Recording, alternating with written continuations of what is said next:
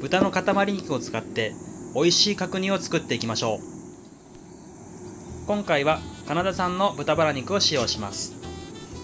赤身と脂身バランスの良いものを選びましょう。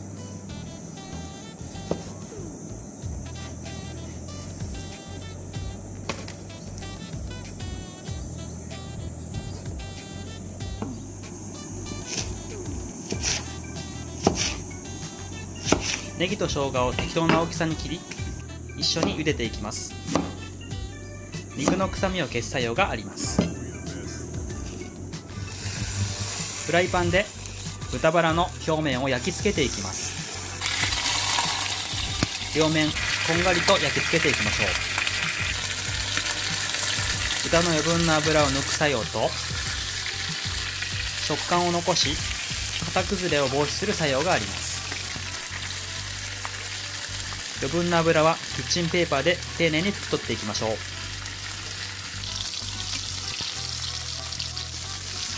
すでに美味しそう。丸かじりしたいですね。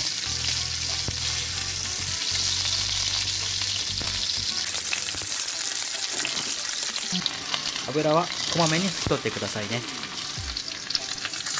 さあ水を張っていきましょう。火加減は強火で大丈夫です。喉が渇いてきました。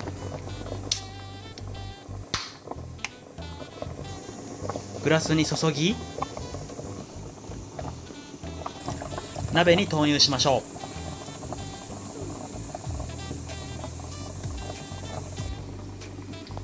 う。グラスもキンキンに冷えて美味しい飲み応えです。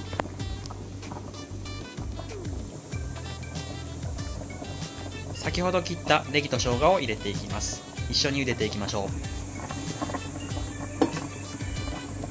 アク油が出てきますので丁寧に取り除いていきましょう。ある程度油が取れたら調味料を入れていきます。今回は砂糖醤油これだけです。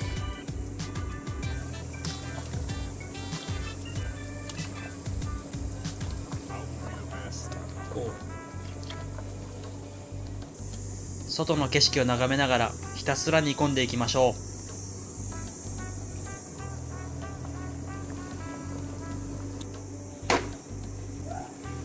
キッチンペーパーを使って簡易的な落とし蓋を作っていきます。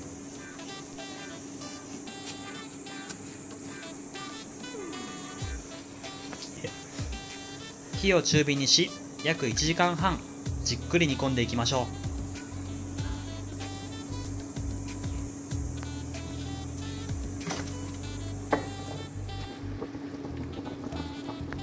時々ひっくり返してあげると味なじみが良くなりますよ。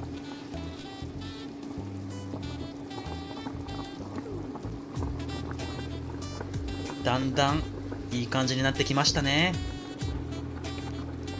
マランボマランボ。マランボマランボ。Looks perfect. It's beautiful、うん、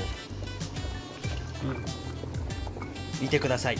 美味しそうな角煮に仕上がりました。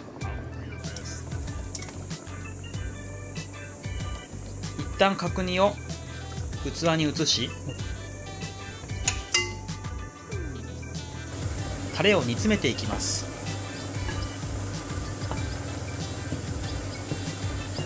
少しとろみが出るまで煮詰めていきましょう。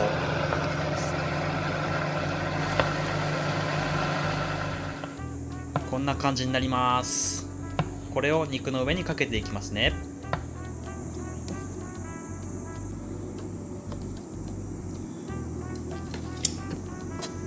プルンプルンに仕上がっております。それでは切っていきましょう。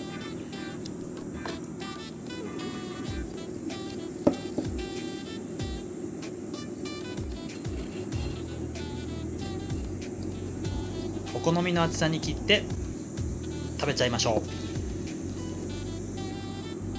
う。ご飯やおつまみ麺のトッピング残ったものは角切りにしてチャーハンなどにも使えます。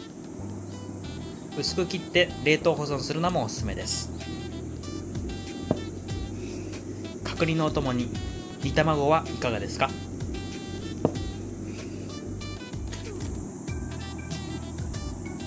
お皿に盛り付けたらタレをかけていきましょ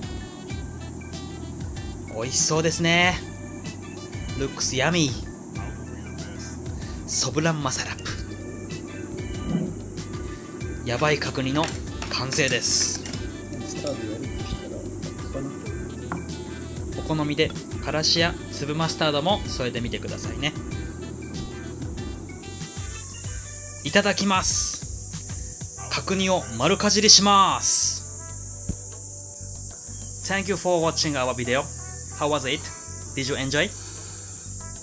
Please like our channel and if you have any questions please leave any comments Siempre, don't forget to subscribe our channel Simple Japanese Food What is next our recipe?